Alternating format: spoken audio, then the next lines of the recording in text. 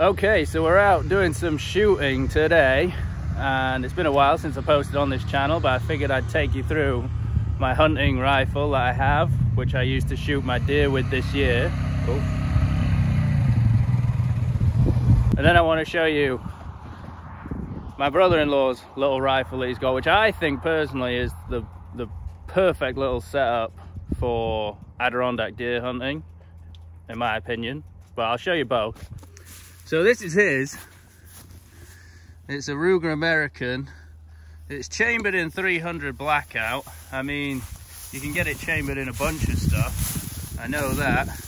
Obviously, probably this scope might be a bit much for Adirondack hunting, for close quarters stuff. But the actual rifle itself, it's a fairly inexpensive rifle, the Ruger American. And this one, with the 16 and a half inch barrel, is perfect. I mean, he's got a brake on it right now, but I don't think you necessarily need a brake.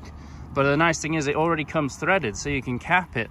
But that shorter barrel seems like so much better than the longer barrel that I have. Because when I went up earlier this year, Chris and I, my buddy Chris, you probably saw that video, we went out for three days and my barrel just get, get, kept getting caught on everything and it's obviously a longer barrel. Here's my rifle. So this is my rifle. This is my Tikka T3X and it's chambered in 7 mil rem mag so it's overkill really for Adirondack deer hunting. But this is my rifle that I bought to pretty much hunt every game animal in North America which it's more than capable of doing. Not too expensive. Only I think maybe like $800 rifle I have a Vortex Viper HSLR in 4 to 16 power. Uh, the scope's probably as much as the rifle, but I actually picked up this scope off Chris used, so I didn't pay that much. I paid about 500 bucks for it from him. It does have the sunshade that came with it, so I mean, it's a great rifle. I really like it. It packs a punch. I changed out the recoil pad. This is a limb saver pad. This is my first time shooting with it today and it's made a big difference. And then I have this, it's a company called Beartooth. And this is a, just a cheek rest, foam cheek rest. It's just a neoprene sleeve and you, it comes with different sized foam pieces to slide underneath there. And that's actually helping a lot. So the reason we're out shooting today is because I actually remounted the scope. Uh, originally I had much higher, I had a Picatinny on here with much higher scope rings. So I changed those out. These are Leupold 30 mil tube rings. And obviously that's given me a much better gap here. Before the gap here was massive and I was just struggling so much to get a good cheek weld obviously saw a Max's rifle on his Ruger. He's got one of those. Is it Kydex? Yeah, it's Kydex. Kydex cheek weld things. And I think they're all right. I just don't want one for hunting. Does that make sense? Like, I wouldn't mind it on a different rifle, but when I'm hunting, I just prefer not to have one. I don't know why. I just like the cleaner lines on a hunting rifle. It's just a personal thing.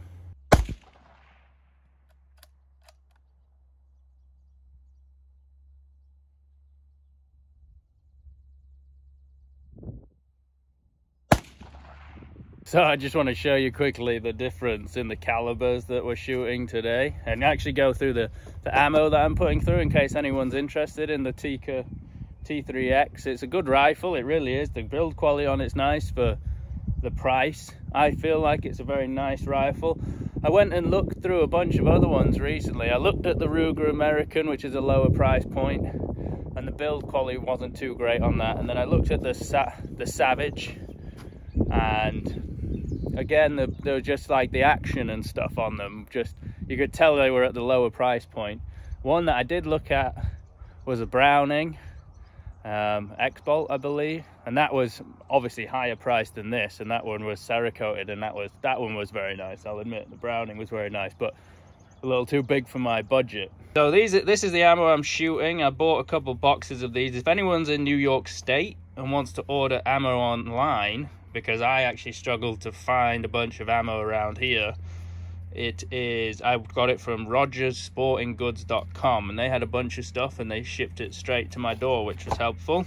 So I bought a couple boxes of these because a guy on Rokslide on one of the forums, when I was on a forum about the Tikka T3X Lite in 7mm Rem Mag said that these were the only factory loads he found for his anyway that shot like hand loads. So they are a little bit more expensive but I figure that's worth it as soon as I get this thing really squared away and sighted in.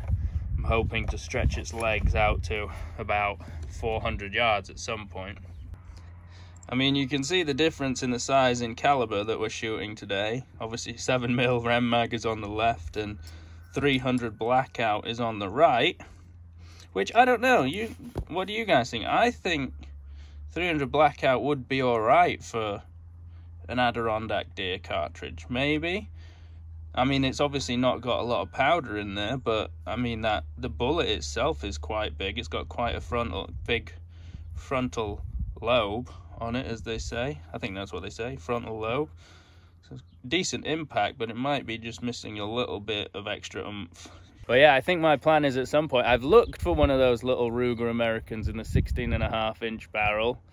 Um, but obviously I don't want to buy, I'm left-handed, I don't want to buy any more right-handed guns. I'm just at a stage where I don't want any more right-handed guns. This is my first left-handed gun and it's absolutely changed the way I shoot. So I'm sticking with left-handed and right now the only one I can find in left-handed is chambered in 450 Bushmaster and I just don't think that's really the appropriate cartridge for what I want it for, which is like I say, hunting in the in the deer woods. I do still have my 30-30, my lever action, but I quite like having a scope on the rifle and I'm struggling, obviously mine's a Mossberg M72 Western Field so it's not one of the Winchesters or the Marlins so I'm struggling to find uh, a rail that will actually fit on there so I can put a decent scope on it but you know that is what it is.